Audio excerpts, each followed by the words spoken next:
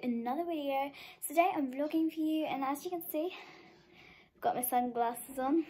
Nice and sunny out there, so that's good. So today I'm going to be tack cleaning as we can't keep my tack in the yard because it lives in the tack room. And as I said before in my grooming kitty video, my nan goes down, puts her at risk, so we can't really do that. So that's why we've got our tack here. So I've got all my tack cleaning set out. Um, so I just need to put my saddle and stuff outside. And yeah, let's go.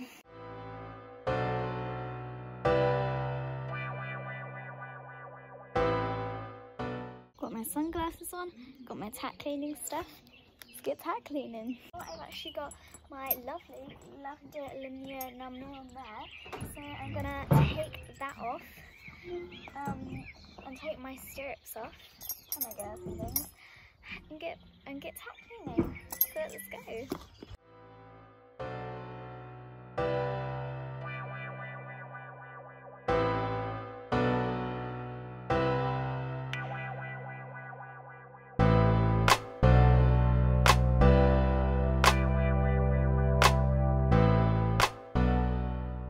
Okay, so I've just finished cleaning anything. I've wet it down.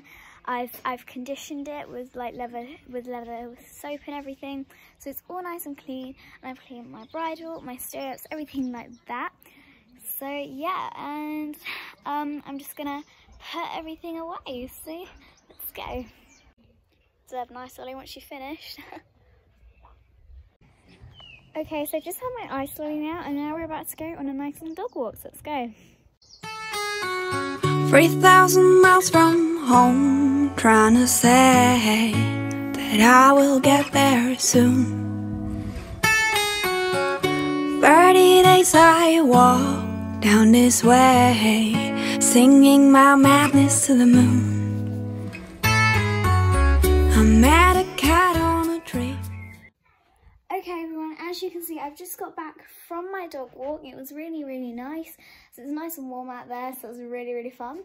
So yeah, thanks for watching today's video. Do be sure to like and subscribe and turn on post notifications to get notified every time I post a video.